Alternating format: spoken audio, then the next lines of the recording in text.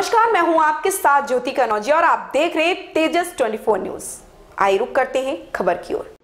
25 फरवरी 2022 की रात्रि में बीती रात ग्राम बहादुरपुर पचार के पास भरतना रोड पर मैक्स पिकअप गाड़ी नंबर यूपी 75 एम 8454 के चालक ने तेज़ी व लापरवाही से चलाते हुए मोटरसाइकिल नंबर यूपी 75 एई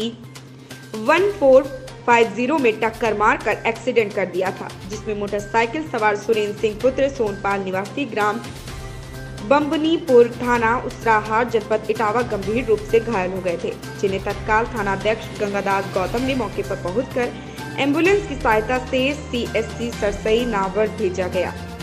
गंभीर हालत होने के कारण पीजीआई सफ़ाई के लिए रेफर किया गया, जहाँ पर आज सुबह सुरेंद्र की मृत्यु हो गई। पंचायत नामा की कार्रवाई के लिए चौकी प्रभारी भट्टिया श्री भगवान सिंह को सैफाई भेजा गया।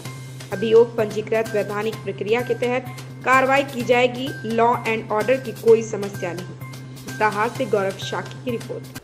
ऐसी ही खबर से जुड़े रहने के लिए आप देखते रहिए तेजस 24